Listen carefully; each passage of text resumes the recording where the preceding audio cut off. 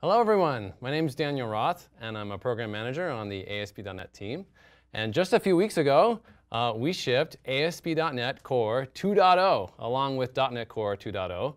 And I'm excited to tell you about this uh, new release. Um, the bits are still hot off the build servers and we've got a, lot of great stuff to show you. Here's a set of features that I'm going to be showing you today. Uh, first of all, it's a lot easier to get started faster with ASP.NET Core uh, 2.0. There's fewer files you have to deal with, fewer lines of code.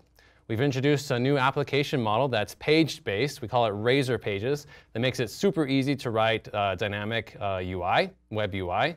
Uh, we've also completely revamped the uh, authentication system so that it's easier to configure, enables new features, and we've also added support for two-factor authentication uh, using authenticator apps. Uh, we've added new templates uh, for single-page application frameworks like Angular, React, React plus Redux. Uh, we've turned on uh, page and view compilation by default so that your startup times for your applications are much faster. Uh, we've also increased performance across the board. Uh, throughput is about 20% faster in ASP.NET Core 2.0 uh, from 1.1.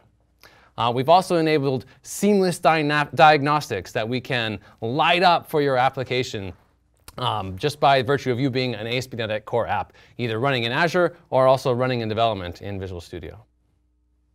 Now, ASP.NET Core, of course, is part of a unified .NET platform. Uh, that uh, is is, good for a variety of application types. But as that whole platform gets better, so does ASP.NET Core.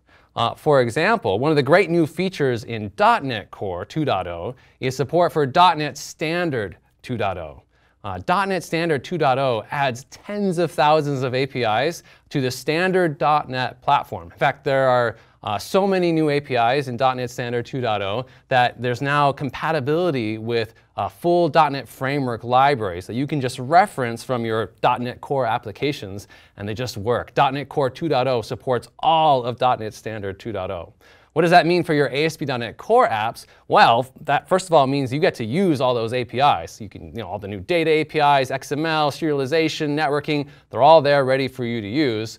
Uh, also, you can continue to use your existing .NET Framework assets. Now, how do you get started with ASP.NET Core 2.0? Well, the first thing you're going to want to do is you're going to want to go get .NET Core 2.0, which has everything that you need uh, to get started writing web applications. You're going to want to go to .NET slash core and download the .NET Core uh, um, uh, distribution for the platform that you want to run on. Uh, also, you're going to want to go get Visual Studio. So go to visualstudio.com and download the, the Visual Studio for your platform of choice. On Windows, that would of course be Visual Studio for Windows. There's now Visual Studio for Mac, which supports ASP.NET Core 2.0, which is great. Uh, if you prefer a lightweight text editor, go get Visual Studio Code. Well, let's go get started. All right. So first of all, uh, on my laptop, I've already gone and gone to the .NET uh, slash core website, and I've insta installed .NET Core on my machine. And as you can see, there you can install for Windows, you can install for Linux, install for Mac. There are also Docker images that you can use if you prefer to run in Docker. I've also already gone to visualstudio.com and I've installed Visual Studio, full Visual Studio on my machine. Uh, if you're on a Mac, feel free to install Visual Studio for Mac. That's available here. Uh, if you prefer a lightweight text editor, uh, Visual Studio Code is great. I've also got that installed because I find it's, it's nice for, for simple scenarios. Okay, so let me, let, let me show you how easy it is to get started with writing a new web app. I'm going to pop up a command prompt here and show you that, yes, in fact, we do have .NET Core 2.0 installed. So I'm going to do .NET dash dash version. And we see we have the 2.0 version of .NET Core on my machine, which means I also have ASP.NET Core 2.0 on this machine. OK, let's create a new web application. I'm going to do .NET new web. And let's specify an output directory. Let's say my app as the output. All right, great. So that's creating my project. Now, notice that it's also kicking off a NuGet restore as part of creating the project. You no longer have to do that manually after creating a project using uh, .NET New. It'll just do it for you, which is, which is nice. You know, one less step. OK, let's go into that directory. And let's see what we got. Let's, uh, let's actually see what we got in Visual Studio Code. OK, so here's my application. First, let's take a look at the project file. Let me make that a little bigger so we can see. Okay. Now, the first thing I want you to notice is that there's only one package reference in this application, this Microsoft ASP.NET Core All package. That is the only package that you need in order to be able to create an ASP.NET Core 2.0 application. It is a what we call a meta package that literally brings in every single ASP.NET Core package. So they're all there. You no longer need to go find out which specific package you need to use in order to use a particular feature. It's, it's already there as part of your application. Also, you notice that there's just a single version that you have to worry about now. The version of this package is the version of the product. That's all you have to worry about. You no longer have to worry about different packages with different versions and version incompatibilities. There's one version that you just need to, to use, which is the version of the product. So that's super convenient. Now, um, this doesn't mean that package restore suddenly gets really, really slow because you're having to restore all these packages. All of ASP.NET Core 2.0 is already included with .NET Core 2.0 when you installed it. So package restore is, is virtually instantaneous. Um, also, when you publish your application, your application is actually smaller with ASP.NET Core 2.0 than it was with 1.1. And that's thanks to a new feature in .NET Core 2.0 called the Runtime Store. The .NET Core Runtime Store already includes all of the ASP.NET Core uh, binaries, and they're already cross-gen and warmed up and ready to, ready to go. So your app no longer has to bring those binaries with it. They're already there. So we trim them out, which means that your app is actually significantly smaller than it would be with, uh, with a 1.1 app. Cool. Uh, what else? Let's look at program CS. Let's look at the program main function where we actually set up ASP.NET Core hosting uh, within this app. Um, this code is also significantly simpler than in 1.1. In 1.1, you would have some code here that sets up your host, and you would have to do a few minutiae. You would have to you know, set up which HTTP server you want to use, like use Kestrel. Uh, you would have to specify your content root that you want to use. You'd specify, you know, I, uh, enable IIS integration if you want to host behind IIS. You no longer have to do any of that thanks to this new default web host builder that we give to you out of the box. That default web host builder will take care of all those details for you. It will go ahead and set up Kestrel. It will set up your content root. It will set up IIS, uh, IIS integration for you. So that's just done. You don't have to worry about it. Less code for you to have to, to write. Okay, and then if we look at the startup class, which is you know your actual app, this is a pretty simple app. It's just hello world. It's just returning a static string. So let's go ahead and run this. And doing a .NET run, that will of course build the application and then fire up, uh, execute it, which then uh, uh, sets up the, the server. Okay, so let's go ahead and uh, pop open a browser. And let's browse to the address, localhost 5000, and yep, okay, there we see, hello world, so it's working. Now returning a static string, you know, that's not super exciting. Um, let me show you how easy it is now in ASP.NET Core 2.0 to return some dynamically uh, rendered HTML. So I'm gonna, let's, uh, let's shut this down and let's go back to the app. And I'm just gonna do a couple simple things. First, let's add MVC. So services dot add MVC. Great. And then app.run, instead of just returning a static string, let's replace that with just, let's just use MVC. Okay, I don't have to add any packages because the packages are already included as part of that meta package. It's already there. Everything's already there. All right, great. And now to add some UI, I'm just going to add a page. So let me go to my, uh, my folder. Let's add a, a new folder called pages. And I'm going to add a page to this folder. Let's call it index.cshtml. Okay, now to signal, and do we want to have some build assets? Sure, go ahead, add some build assets for us. That's great. Okay, um, to signal that this is a page, the only thing I need to do is say at page, use the page directive. And now I have some razor that I can write to dynamically render some HTML. So for example, let's, um, let's add a little header in here and say the time is, let's switch to C sharp, date time dot now, you know, whatever it is currently. Okay, I think you did that right. Let's run it again.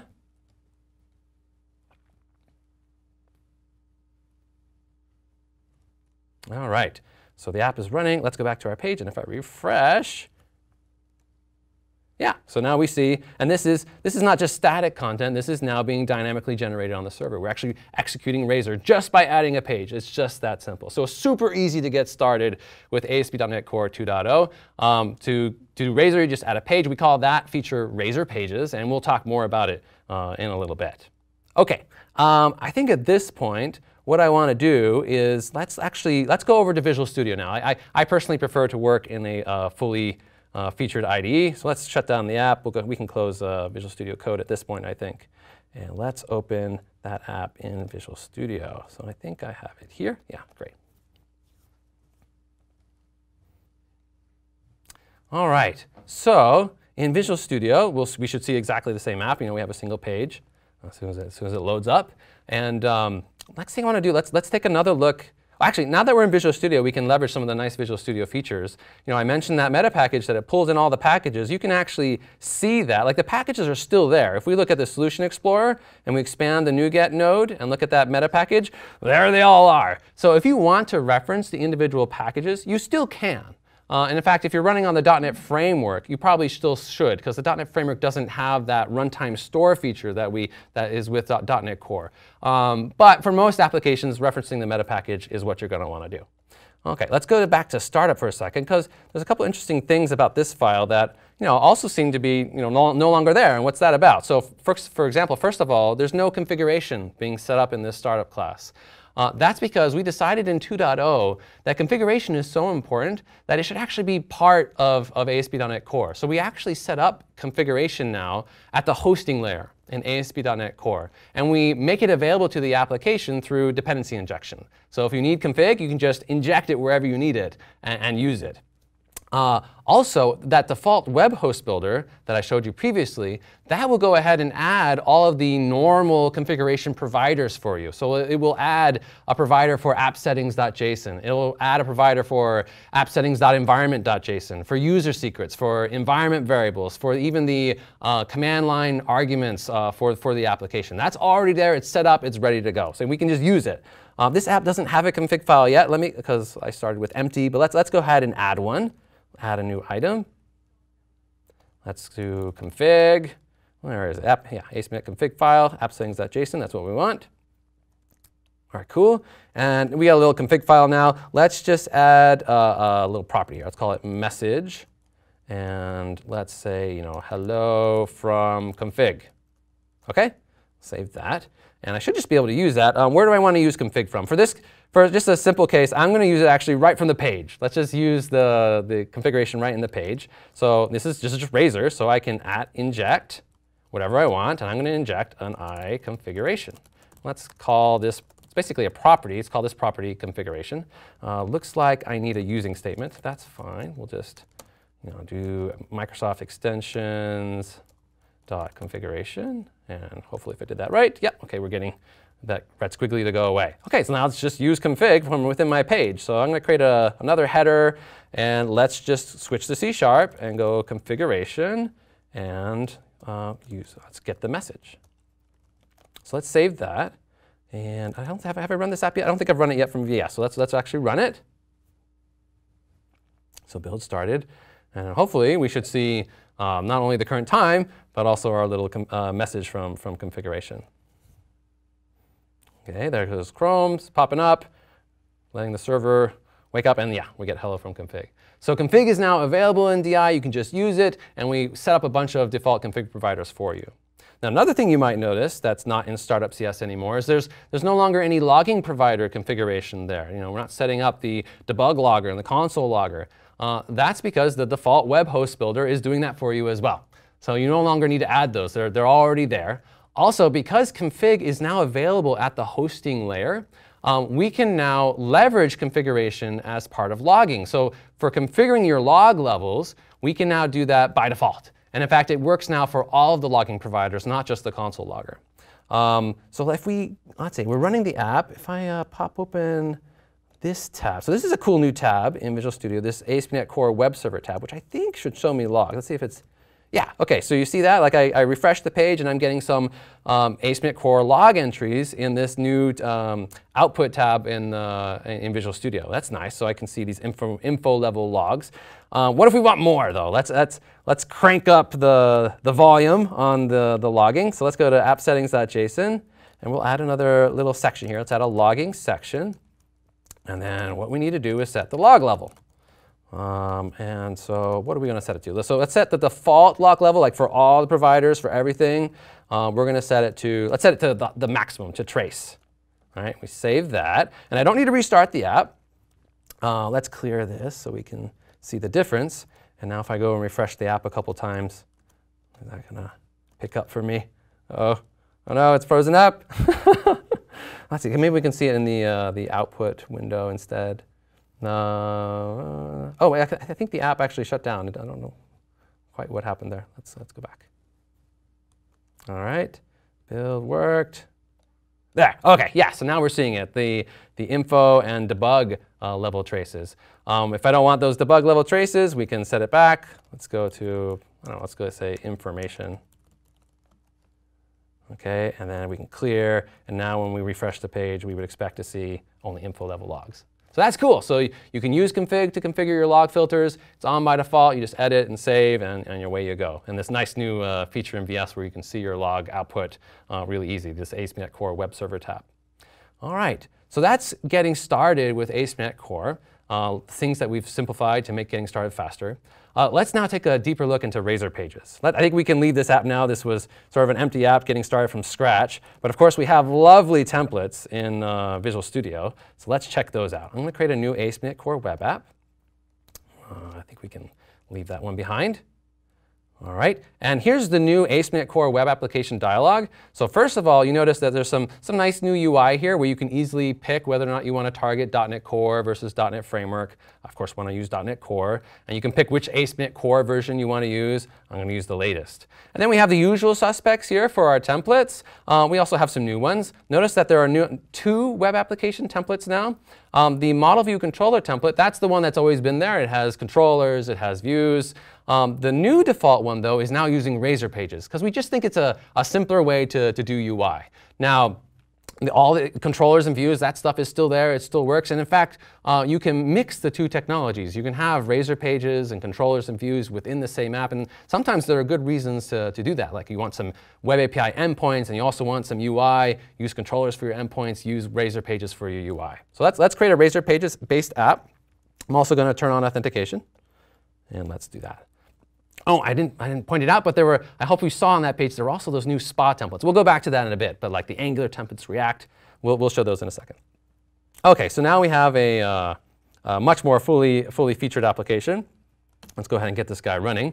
Um, and let's look at Razor Pages. So that, remember we created that pages directory to, to get started with Razor Pages. And, and this app has, has a pages directory. This app you know, has the standard you know, three tabs that all of our templates do, home, about, and contact. And those are just pages. So for example, home, that's this index CSHTML. About is about CSHTML, and contact is contact CSHTML.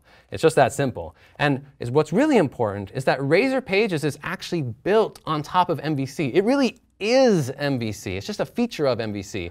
Um, it's a page-based way of doing UI. That means that all the normal MVC features, they just work. So if we look at this, you know, this, uh, this folder, like layout, that's an MVC feature. It's there, it just works. You know, partial views, that just works. Uh, view imports, view start, all these things are just normal MVC features. They apply to Razor pages just as much as they do to MVC. Um, that's, which is great. So that means all your, uh, your knowledge about MVC carries forward. Okay, um, now the routing in Razor Pages, though, is, is what's really different. The, the routes to these pages is just determined by where it is on disk. So for example, if we go back to the app and we see this like login uh, page, uh, this account slash login is what I'm seeing in the URL. Well, that page is handled by you know, account login CSHTML. So the, the path to the page, that determines its route. Now, Razor Pages is really great uh, at doing like forms-based UI. And I'm going to show you how you can create a really quick form using Razor Pages. Okay, so um, let's go to the contact page and let's, let's look at it in the UI as well so we can see what we're doing. All right, so first, what I'm going to do is, um, you know, before when we created a Razor page, we just had a CSHTML file. But notice you can also have a, you know, kind of like a code behind file, what we call a page model. Let me give myself a little more space. A page model. So you still get the nice separation of concerns in Razor Pages that you do with MVC. You still have, you know, sort of the view part of the page and then the logic part of the page that you can inject stuff into and test and has, you know, your business logic. Uh, so the separation is still there and it's done by these page models. And you, you just reference your page model in your, your page using the at model directive. So at model, contact model is pointing at our page model class. Okay, great. And you can define page uh, handlers on your page model to handle different HTTP verbs like on get, on post, and so forth. Now what I want to do here is I just want to add a class. I'm going to add a contact class to represent our new context. What I want is a, a form where someone can provide their name and email address and get contacted uh, about you know, our great products or whatever. Oh, I see I have a question from the audience about uh, whether or not custom templates uh, can be added into the, the, the, the new ASP.NET Core dialog. And the answer is yes, actually you can. You can write a, a Visual Studio extension and create a, you know, a, a, dot new, a .NET Core new template, and uh, you can actually install your template uh, in, into Visual Studio. That's actually possible. Um, we can provide links on how to do that later. All right, so uh, let's create our contact class. I'm going to uh, add a name. And let's also add an email address property, okay? Now I also want to add some data annotations. Let's say that the name is required. We just need to resolve a namespace on that one. Okay, good. And then for the email address, let's say it's required. And well, let's also say that's an email address. Okay, great. Now, um, I'm going to add to my page model a contact property that I can then use. So let's call it contact. All right. And that's what I'm now going to use to actually generate my form. So let's go over to the CSHTML and let's add a form here. You know, we, we could, I could, we could hand type this, right? Uh, I don't, I don't want to, you know, bore you, but uh, uh, so, so instead I have a, a, little snippet that I can use to, to add that form real quick. Uh, and my snippet manager, also known as Notepad. Okay, great. So let's add the, the form to the contact page. And this is a pretty simple form. It basically has two fields, and it's using that contact property on the page model to generate a field for the name and for the email address. And all the tag helpers, they work, all that stuff is the same. Remember, it's just MVC. Okay, so now we should have a form. If I save this and go back to my contact page and refresh, let's see. Give me a chance to rebuild. Yeah, yeah, so there's our form. Now it doesn't do anything yet. So we need like when we click the, the button that that post can actually go someplace. So let's add the now the server side piece for this. Uh, let's go back to our page model. And remember we had these page handlers. So I'm going to add a on post page handler. This is going to return an iAction result, just like you would in MVC. It's again, it's just MVC. So on post. And what do we want to do in here? Um, like if the model state, right, is valid, or is not valid actually. We're just going to render the page. So return page. Okay. Otherwise, like normally in here, you would like save contact to your database. Um, we won't do that for, for this demo, but that's where that logic would normally go. Uh, and then if everything's good, then we probably just want to uh, redirect back to the page, right? Like po get po uh, post redirect, like that, that pattern is what we want to use here. Post redirect get, sorry, ah, got it backwards. Uh, redirect to page. I think is what we want. All right, I'm gonna need to, it looks like I need to just resolve a namespace. And good, okay, so that should now, you know, a post request from the page, so it should go here. And what I want is now to bind the contact that got sent. I could put it as an argument right in the page handler. That does work like normal model binding, but we've already got this property right here. Why don't we just use that? So there's a new feature in Razor Pages where you can just say bind property just you know, model bind to this property when the request comes in. This feature works in MVC controllers now as well, and so I would expect now any posted contacts would go there. So that's, that's kind of convenient. Uh, let's see if that, uh, how can we tell if that works? So to tell that that's actually working, why don't we do the following? Let's have like a success message at the end. We've already got this message property up top. So let's say message equals uh, thanks, and let's get the contact name uh, will contact you via, and let's get the email address, contact.email uh, soon. Okay? So we'll set the, this message, and then, oh, when we redirect, we want that message to be displayed which means that message has to survive a redirect. How are we going to do that? Well, MVC has a nice feature for doing that. It's called temp data. So I could actually set that message in temp data and, and, and use it that way. But there's actually a better way now with Razor Pages. We can take this message property and attribute it with temp data. And what that will do is that property will now be backed by temp data. When you set it, it will get set into temp data. When you get it, it will get it from temp data. So that's super convenient. And then when we do the redirect, we get back, we probably don't want to clear out the message. So let's, let's get rid of that little bit of code. Okay, and then is the, does the view look all right, like the message being displayed? Yeah, so we have a little bit of code up here displaying the message. That's good. Let's, let's format this a little bit better. Let's give it a class, a bootstrap class of text, uh, what, uh, success. Let's make it green. Okay, does that work? Okay, so I saved it. Uh, so first of all, let's make sure that the, um, uh, the validation stuff is working. So if I submit with like nothing, like I would expect to get some validation error saying, you know, stuff's required. Okay, good. If I put my name in here and then put like foo for an email address, I would expect, yeah, okay, it's not an email address. So that's the validation's working. Uh, let's put my email address in here and let's submit. And then, yeah, so must have bounced. So thanks, Daniel Roth. We'll contact you via your, your email address. Okay, so that's how you can quickly build forms with Razor Pages. It's super simple. And notice the features work in MVC too, like temp data, bind, bind property, all that stuff. It also works in, uh, in MVC controllers because it's, it's all really the same framework. All right, so that's Razor Pages. And there's a talk later this week where, where you can learn all about Razor Pages that I believe Steve Smith will be presenting, and you should definitely check that out. Uh, next, I want to show you about the uh, authentication revamp that we've been doing in, uh, in ASP.NET Core 2.0. Um, this app has authentication enabled, so you know if we go and register a new user, uh, I'll register you know, myself as a new user. Make sure I have a password I can remember. All right, and let's register. Okay, so uh, we need to migrate the database, so let's, let's go ahead and do that and refresh the page. Hopefully now I should be logged in, and I am. Okay, so that's, that's all working. Let's look at the code for that, though, because it's a little different. Uh, we've revamped the authentication system in 2.0 to make it easier to, co to configure. So down here in my configure method, you'll notice that instead of having um, you know, different middleware for each authentication scheme that you want to use, like cookies or Facebook or OIDC. Instead, there's just one. It's now just use authentication. It's one middleware. Uh, the reason for that is before when we had multiple middleware, uh, one for per authentication scheme, it was, it was too easy to configure them in conflicting ways. Like maybe you had two middleware that were both trying to actively authenticate you and that caused bad stuff to happen. Now with just one middleware, we can coordinate across all the authentication schemes. So how do you set up multiple authentication schemes now? Well, you do that now through DI. Like you, you add authentication schemes as services that the middleware then just picks up and, and uses. So it's a, it's a simpler model uh, and makes things much more robust. Okay, so that's how authentication now works in 2.0. We've also added some nice new features. Like if we go into the template and let's go to my, my user and look at the, um, my uh, managing my, my user account. We've, you can see we did a, a little bit of a overhaul on the UI here, so it looks a lot nicer. Uh, but one of the cool features is support for two-factor authentication. Now we've had that before, like using SMS text messages, but now it's super simple to set it up using uh, uh authenticator apps. So I want to add, sure, I want to add authenticator app. Let's turn on two-factor authentication.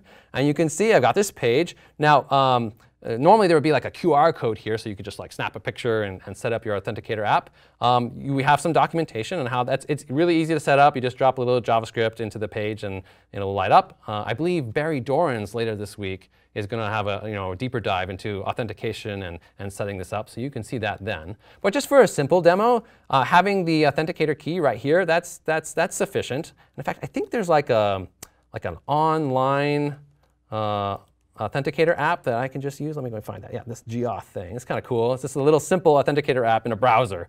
Uh, so let's uh, add a new account. Let's call it .NET Conf or whatever. And I'll put my secret key that everyone in the world can see right now. So I'm going to add that. OK, so the one-time password 908426. 908426. And that should work. All right, cool. So that, that worked, and now it's giving me a bunch of recovery codes. Like if I lost my phone, um, these are codes that I can use to log in if I no longer have my device. So I better put those in a safe spot. So you know, I'm going to get my safe storage mechanism, also known as Notepad, and uh, I'll just tuck that away. OK, so now if I log out and then try to log back in, uh, should like challenge me for two-factor authentication. Let's see, does it do that? Yeah, it does. OK, yeah, don't save my password. That's fine. Uh, if I put in like a random number here, uh, yeah, can't, can't log in. If I go back to my Authenticator app, what is it? Uh, 742063. Let's see, 742063. And can I log in? Yeah. All right, cool. And if I, um, if I do that again, but this time if I'm like, I don't have my Authenticator app, uh, what do I do then? So let's, let's log in one more time. And if we log in, now, notice that down here, there's don't have access to your authenticator device, you can log in with a recovery code. So that's where I can use those codes that thankfully I safely stored. Uh, let's just make sure that if I type some garbage in there that, yeah, that doesn't work. But if I put in a real recovery code, Yeah, then I can log in. Okay, and those are one-time use. So that's you know 2 2FA using Authenticator apps. It's just there in the templates. You can use it. Learn more later this week when, uh, by watching Barry Dorrans' talk. Okay, so that's revamped authentication. Let's go take a peek now at um, those SPA templates, those uh, single-page application templates that we saw previously. All right, I think what I'll do, I'll, I'll uh, let's pop up another version, uh, another instance of Visual Studio and we'll do file new project. Oh, I see we've got, while we're waiting for this, I can answer some questions. So can Razor Pages be used to migrate from ASP.NET Web Forms? So Razor Pages you know, has some similarities to Web Forms, but it's not Web Forms. Like it is a different model. So uh, you could migrate from Web Forms to Razor Pages, but that would be still a fairly substantial code rewrite because Razor Pages is not meant to be web forms. So if you have a big web forms code base, it'll still be a fair amount of work. It's possible, but uh, it's not like you know just copy your ASPX pages and just have everything work. All right, let's do, uh, remember, let's go back to File New Project. And remember, we saw the, all those other templates before with fancy icons. Like I can now build an ASP.NET Core app with, with Angular or with React or React and Redux. Um, let's create one with Angular. Now, uh, this create, I can do this right now. It does take a little bit of time because uh, you know we're using npm here, and restoring all those npm packages actually takes a little while. Um, instead of waiting for that to fully warm up, I think I've already got one set up. Let's just uh, go to this Angular app that I've already got, and we'll just use that one instead, instead of waiting for npm to download all that stuff. All right, while I'm waiting for this, I'll answer one more question. Um, what's the difference between web forms and Razor, except for the markup syntax? Uh, isn't it the opposite of separation concerns where the views should, uh, should be dumb? So um, web forms and Razor, like I said, they're similar in terms of their, their page model. Um, and yes, they do have a different, um, uh, a, a, different templating engine that they use, but it's much more than that. Like like uh, Web Forms has a full in-memory DOM, Razor Pages doesn't, doesn't have that. There's a bunch of things, like Web, Web Forms has a controls model, Razor Pages has, has tag helpers, but it's still, it's a very different thing. Um, you can still keep your, you know, your HTML DOM, like it can just be, still be a view based off of that page model that I showed before. All your logic lives in the page model, and that you can, you know, new up and test and unit test, um, and that's really where your logic should lie. So by default, actually, when you add uh, Razor Pages to a new project, we will give you both that CSHTML file and the backing page model. OK, so here's, here's an Angular app. Let's just go ahead and run this. And this is set up with ASP.NET Core, with Angular. You know, the purpose of these SPA templates is they take all these you know, JavaScript uh, technologies you know, new JavaScript technologies like Angular and TypeScript and Webpack, and they set them all up for you. So you can save yourself, you know, the hours of head scratching trying to figure out how you get all those things uh, to work together. And they also enable a lot of really nice, uh, fancy advanced features so that you don't have to figure that out either. All right, is this, uh, is this running for me yet? Let's see, no, we're still, did I not hit run? I thought I hit run. Let's go back. I think it's trying. Maybe I have too many uh, instances of VS trying to do it at the same time. Let's see if we can close one of these. Well, so while we wait for it to, to recover, the um, there it goes. So that, that, that went away. Yeah, there we're gonna. All right, now it seems to be okay. Control F5. There we go. Let's make it big again, and it's building and build succeeded. Okay, great. Now we've got our Angular plus ASP.NET Core app.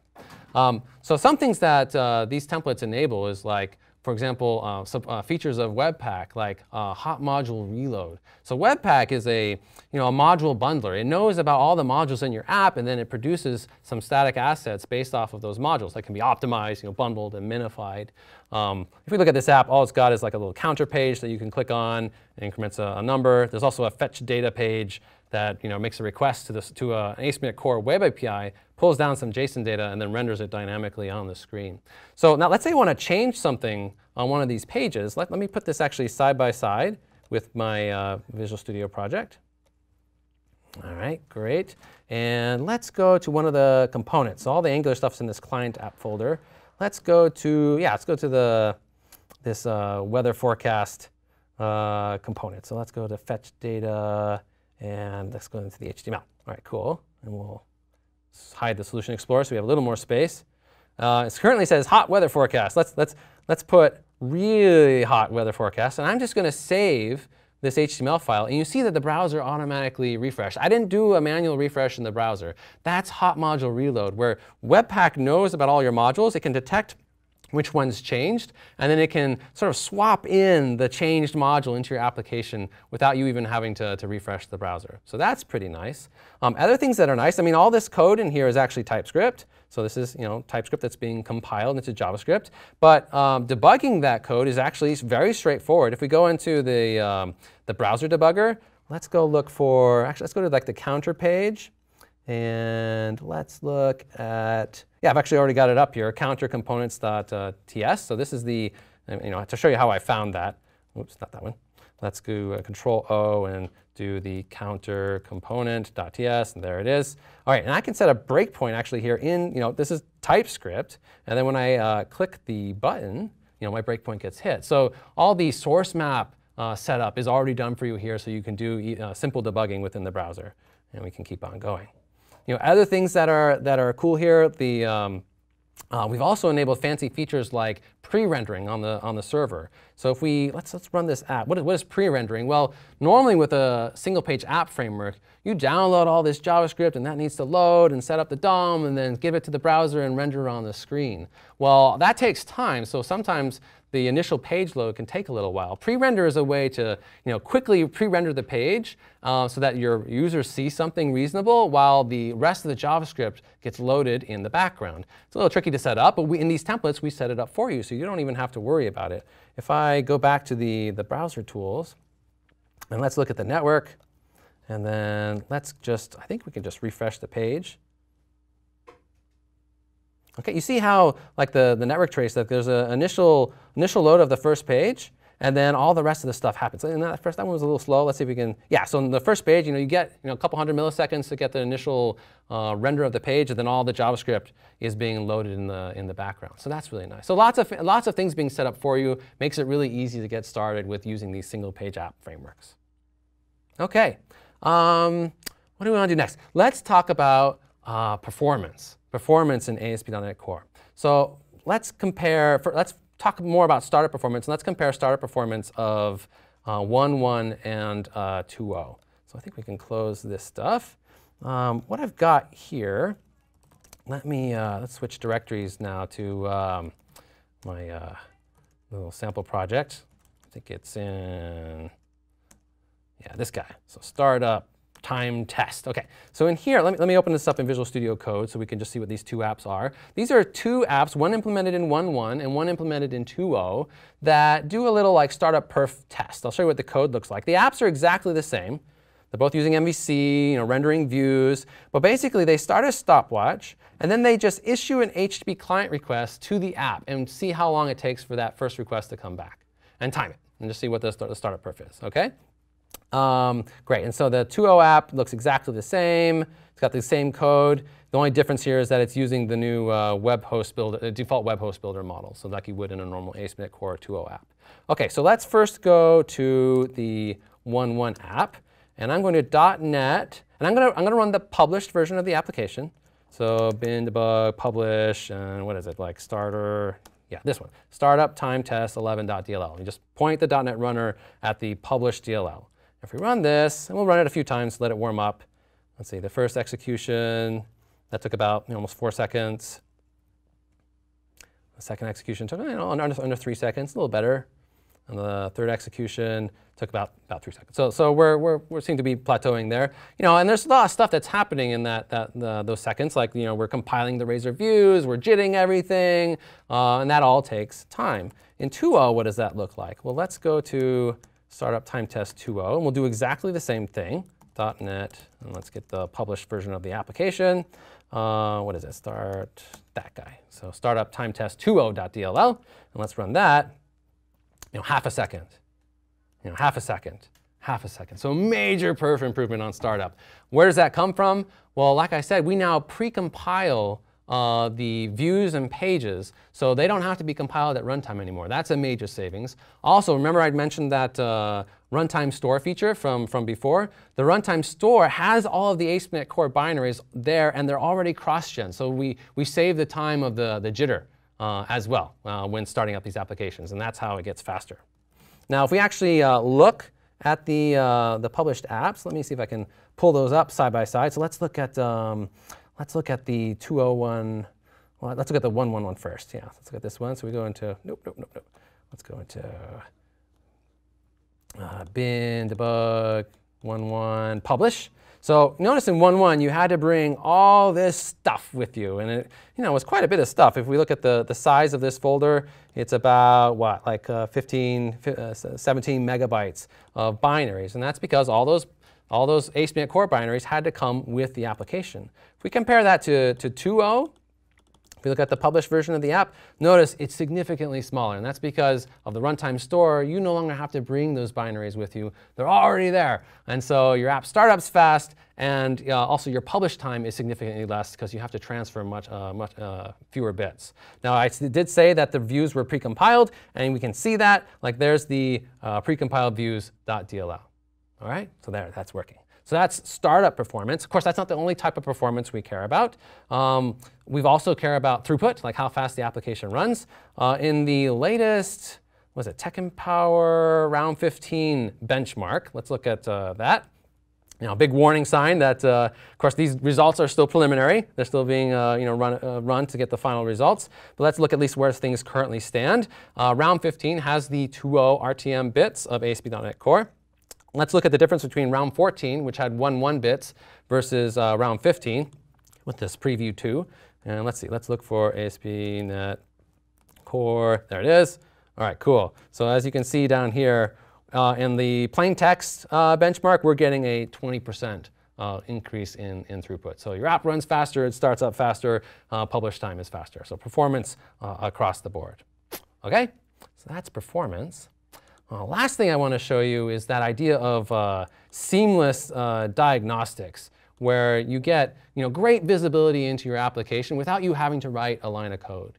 You know, previous versions of ASP.NET Core, you know, we wanted you to have telemetry, we wanted you to have diagnostics, and so we even added like you know, app insights uh, packages and code to your application to help you do that.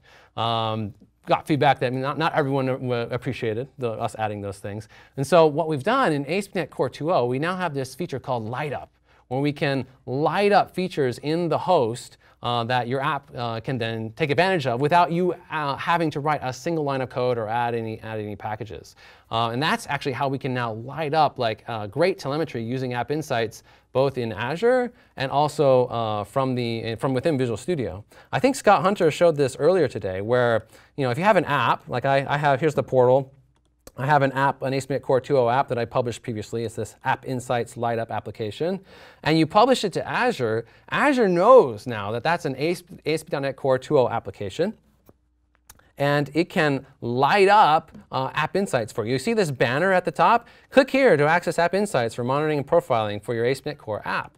And if you click that, then you can actually provision App Insights and we can light up the integration into your application. And that includes things like hooking the logging providers, uh, injecting JavaScript into your, uh, into your pages so that you can uh, see all the interactions that are happening on your pages. So for this app, I've already done that.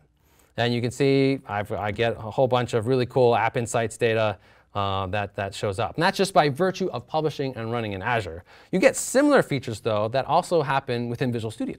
And that's what I want to show you next. So here's the app we were working on previously, you know, the one that we were messing around with Razor Pages with. Let me now run this in the debugger.